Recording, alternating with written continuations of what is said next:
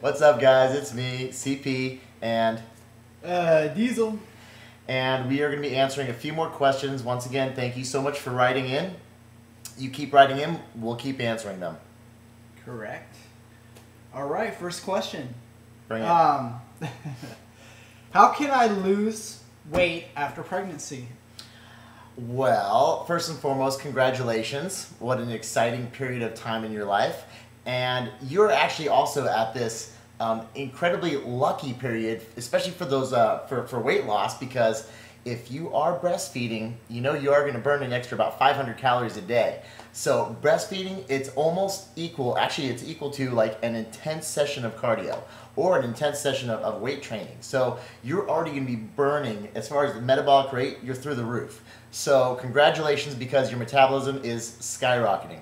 Um, a lot of times, however, the hormonal balance gets thrown off just a little bit. Now, we're getting into something a little bit tricky there, but as far as just overall calorie expenditure goes, it should be cranking. The biggest thing that you need is just simple structure, and this guy knows all about structure. Oh yeah. Um, structure is the way that we do everything when it comes to nutrition. Nutrition is always going to be that backbone. Then we're going to put a little bit of exercise on top of it. So I'm, I'm hoping that um, you know, it's and this might sound kind of weird, but I'm hoping that you've been relatively sedentary for the last few weeks, especially uh, in the final final few weeks of the pre- pregnancy, simply because your body will have adapted to being sedentary. So what we want to do is anytime we're going to be starting off with any kind of fat loss program, we say it all the time, less is more. Less is so much more. So the best thing you can do, number one, if you are breastfeeding, you're going to be burning a lot more calories. We're going to create a nice little nutrition structure, five meals of the day, or maybe even six.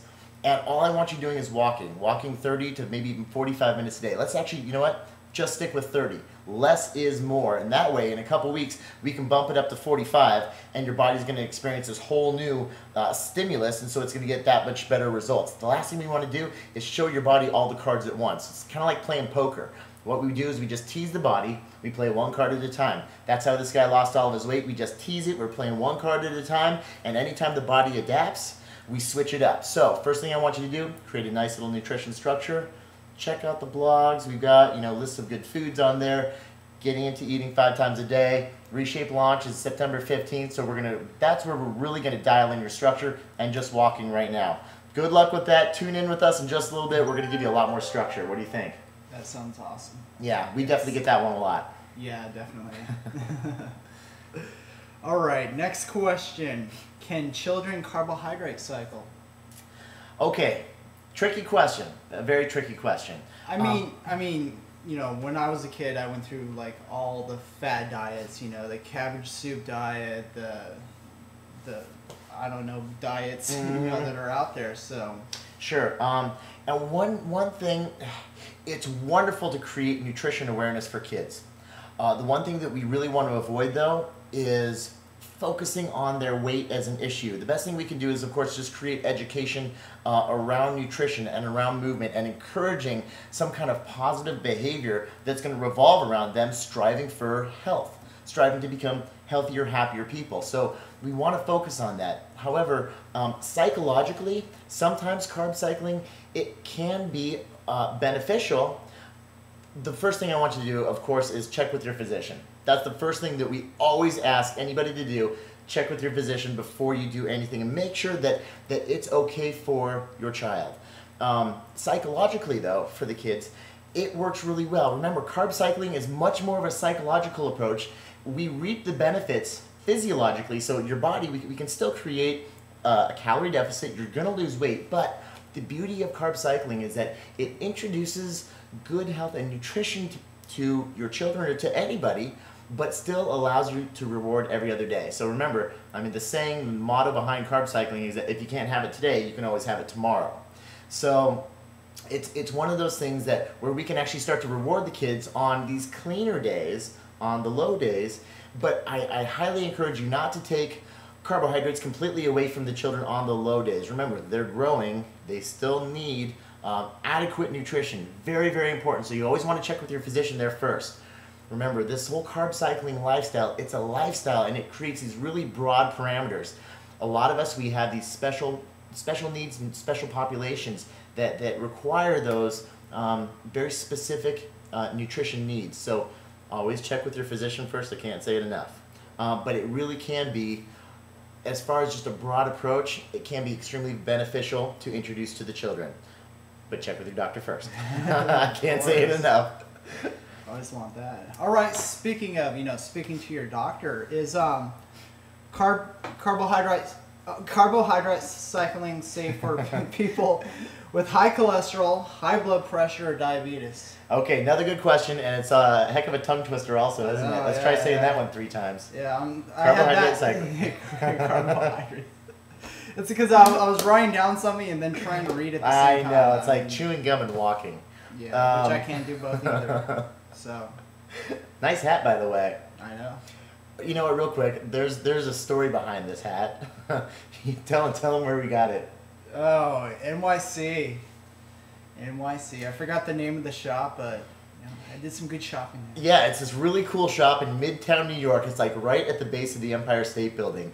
And uh, every single time that, that we go over there, we have to stop by the store because they've got like the funkiest hats um, and just just really really cool clothes and sunglasses. I think you got like half of your wardrobe from there. And um, Does it all cost like three bucks? Yeah, it's like three bucks for everything. And so every time we go, we have to go here, and I, I get presents for everybody back home. Don't tell them that Yeah, I I was about to bucks. It's- yeah, I, I'm okay. Yeah, cat's out of the bag. I'm cheap. So, all right. So let's talk right, about um, carb cycling safe for people with high cholesterol, high blood pressure, and diabetes. Great question.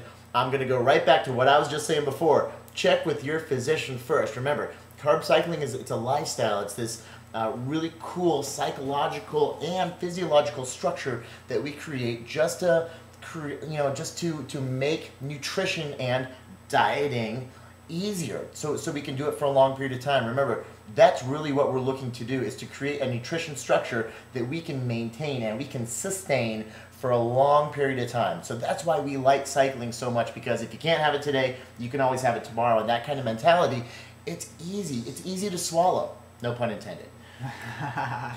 Man we're sharp today. What's going on? I know. um, okay, so once again, check with your doctor first.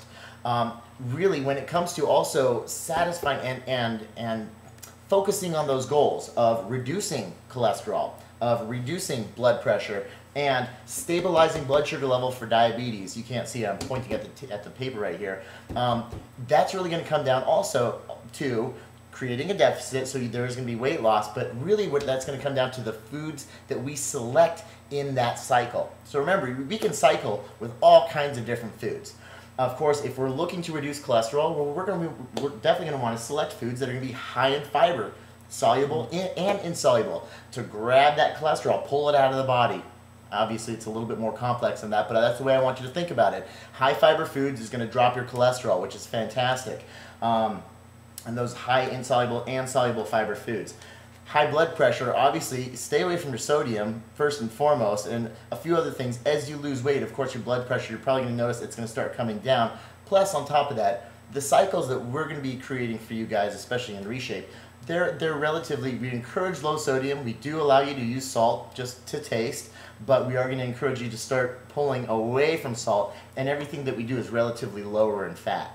Um, and of course, with diabetes, now is when it. This is this is probably one of the trickiest questions when it comes to carb cycling, because carbohydrates, of course, especially you diabetics out there, you understand the importance of carbohydrates, but also how careful we have to be with them. So this is really what's, when it's going to come down to um, selecting foods that in in your carb cycle, and especially in your rewards on those high carb days, um, foods that are not going to be extremely high in simple sugars. So you're going to be selecting your your complex carbohydrates. Um, and also on your low days, you don't necessarily want to pull those carbohydrates out completely.